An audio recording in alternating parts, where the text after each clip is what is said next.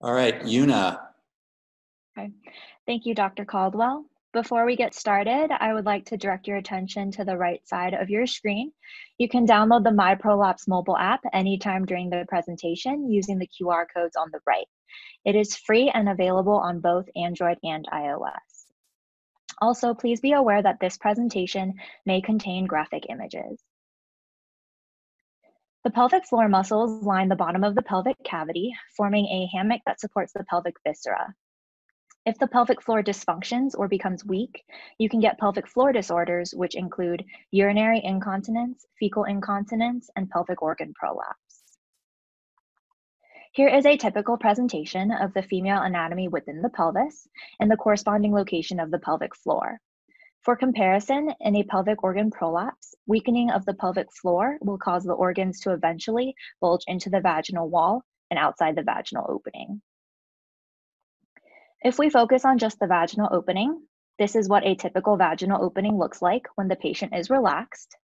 When the patient is asked to bear down like they are defecating, this is called the Valsalva maneuver.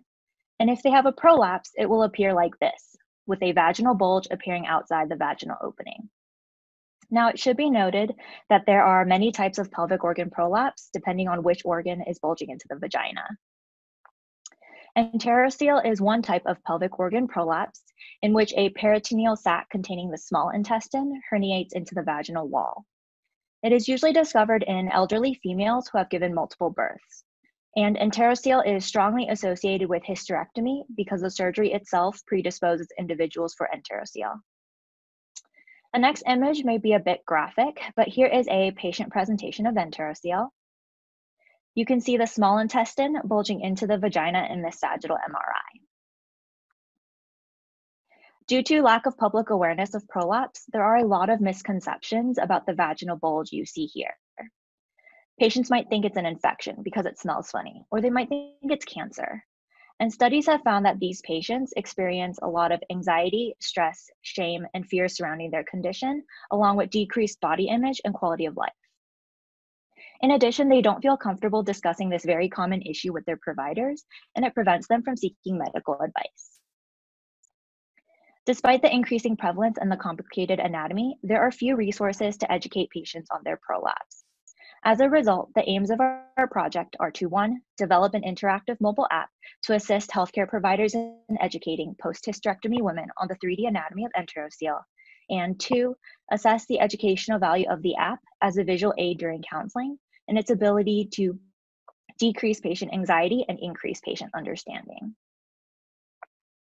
We first started with resource development. We obtained a de-identified CT urogram and MRI pelvis of a female diagnosed with enterocele post-hysterectomy. This was approved by the Colorado Multiple Institutional Review Board. Then we segmented the models with 3D slicer. Here you can see the bony structures and a close-up of the pelvic viscera. These are isolated views of the small intestine, the vagina, and the pelvic floor muscles. Then the models were smoothed and refined in ZBrush Core. And afterwards, the smooth models were textured and animated in Maya. We took the animation made in Maya and incorporated everything into Unreal Engine 4 to create the app itself. Unreal Engine is the same game engine that created Fortnite, which is apparently a pretty popular game these days. The app currently supports both English and Spanish. You can rotate, pan, zoom, and toggle the visibility of the models. And as an extra bonus, we also included tips on how to prevent a prolapse. Once resource development was finished, we received feedback from 15 healthcare providers at Denver Health. Shapiro-Wilk tests were performed and the provider outcomes were found to be non-parametric.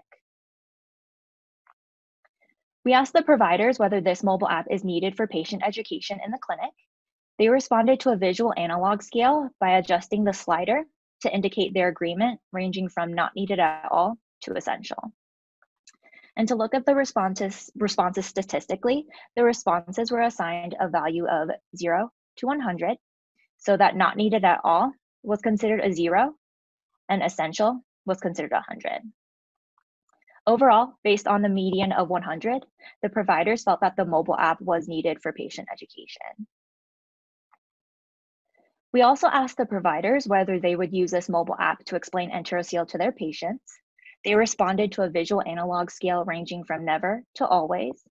And overall, based on the median of 100, most of the providers would use this app during the clinic. We also asked the providers whether they would recommend this mobile app to another provider. They responded to a visual analog scale ranging from very unlikely to very likely. And overall, based on the median of 100, most of the providers would recommend the app to another provider. Based on the comments by the providers, we improved the user interface of the app by adding a zoom slider and a reset button. The next step is to evaluate patients, but this is currently halted due to COVID-19. But to summarize, patients diagnosed with enterocele will be randomized into two equal groups. One is the standard counseling group, where the provider conducts routine counseling as usual.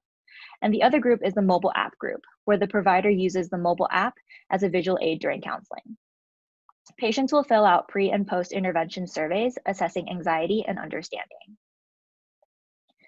So far, it seems that the mobile app could be a valuable resource for healthcare providers. Positive provider feedback suggests the app has considerable potential as a patient education resource during counseling. Future patient data collection will investigate whether this is true by assessing the educational value of the app and whether it decreases patient anxiety and increases patient understanding. In addition, future iterations of the app will include other types of prolapse. Overall, we are hoping that this app will increase public awareness and improve communication between patient and provider by enhancing patient education of post-hysterectomy pelvic organ prolapse. I would like to thank my committee members and everyone who assisted me with this project. Thank you for listening and please let me know if you have any questions. Yuna, this is Janet Corral. Thank you so much for such a clear and well-organized presentation.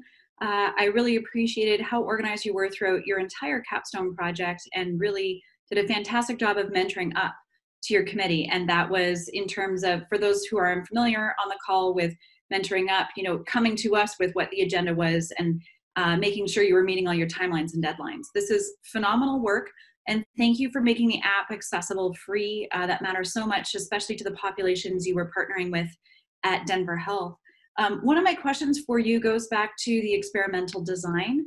This was really well thought out, but specifically this piece of being in COVID, we're all sympathetic and appreciate being unable to um, check this with patients. It looks like COVID, you know, might last a little bit longer, and we don't want to um, overtax our OB-GYN colleagues, but they are beginning to do telehealth visits. Is there a way that some of this validation could be done through telehealth? I think um, it may be possible. Um, I do know that uh, my mentor and I are still discussing what exactly to do going forward, and we haven't exactly decided anything yet because we're still looking um, to see what Denver Health um, is going to require of the urogynecology clinic. Um, and so I think we're still just waiting to hear back from Denver Health about that. Thank you. I look forward to seeing the next phases of this project. Very well done. Awesome. Thanks so much, Yuna. Um, we don't have any time for other questions, but I can't wait to see what patients think about your project and that important resource for them. So